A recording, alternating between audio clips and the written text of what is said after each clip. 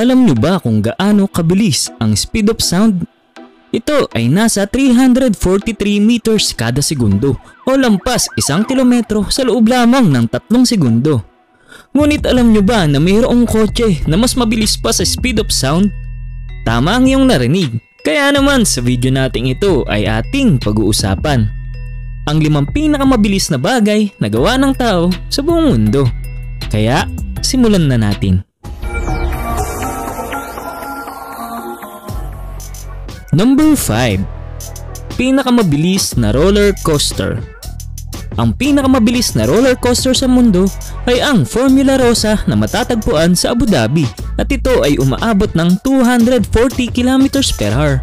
Ito ay nag-ooperate ng halos 10 taon na at kahit na sobrang bilis nito ay wala pa rin itong natalang aksidente kaya naman napaka-safe nito sa mga tao. Sa sobrang bilis nito ay nakapagtala ito ng isang kaso ng pagkamatay ng isang ibon matapos itong tumama sa leeg ng isang tao dahil hindi ito nakaiwas sa bilis ng roller coaster na ito. Sa bilis ng Formula Rosa ay talaga namang mag enjoy ang mga taong gusto ng thrill and excitement. Talaga namang mapapakapit ka sa bilis mag-accelerate ng roller coaster na ito at sana mapanatili ng Formula Rosa ang pagiging safe nito sa mga tao. Number 4 pinakamabilis na helicopter. Tulad sa mga hayop, ang mga pinakamabilis na man-made na mga bagay ay ang mga lumilipad. Ang pinakamabilis na helicopter sa buong mundo ay ang Sikorsky X2 at ito ay may bilis na umaabot sa 481 km per hour. Ang X2 ay isang technology demonstrator na naglalayong makadevelop ng mga helicopters na doble ang bilis kumpara sa normal na takbo ng ibang helicopters.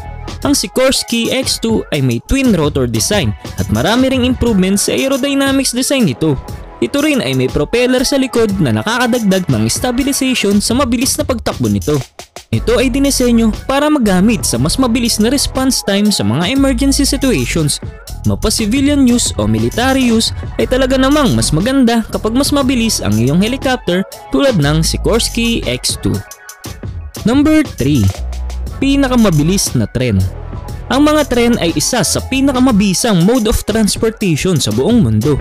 Napaka-efficient nito dahil sa dami ng taong naisasakay nito at kung minsan ay walang istorbo sa pagbiyahe.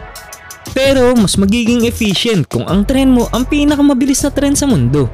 Ang Shanghai Maglev ng China ang may hawak ng world record sa fastest train in the world.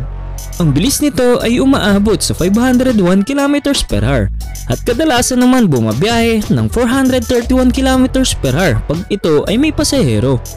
Ang distansya ng biyahe nito ay 30 km at natatapos niya ang biyaheng ito sa loob lamang ng 8 minuto. Ito ay gumagamit ng magnetic levitation technology. Ang tren na ito ay hindi sumasayad sa riles kaya naman mas smooth at mas mabilis ang biyahe nito kumpara sa mga normal na tren.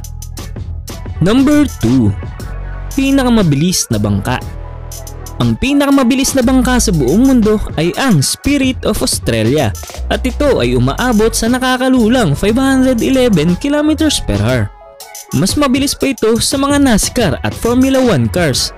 Ang Spirit of Australia ay dinisenyo ng isang Australian motorboat racer na si Ken Warby na naglalayong mag-break ng speed records.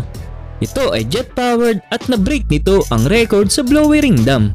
Napakatulin ng takbo ng bangkang ito, ngunit hindi pa rin nakontento itong sila Ken Warby dahil kasalukuyan na nilang ginagawa ngayon ang Spirit of Australia 2 at sinasabing ire-release ito ngayong taong 2020.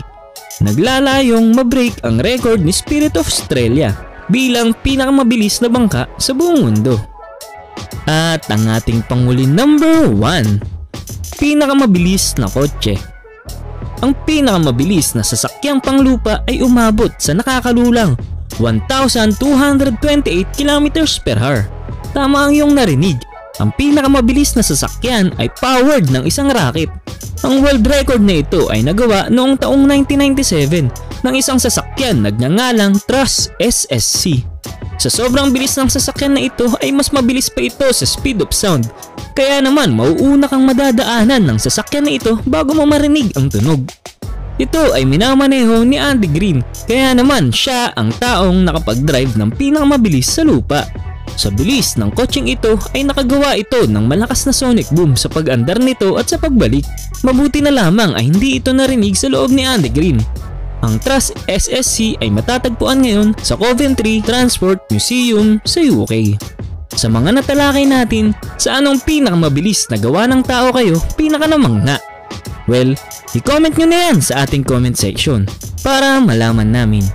At dito na nagtatapos ang ating talakayan. Panoorin mo rin ang mga video na ito at tiyak na mag enjoy ka. Once again, this is Kwentot Kaalaman TV and thank you for watching. God bless.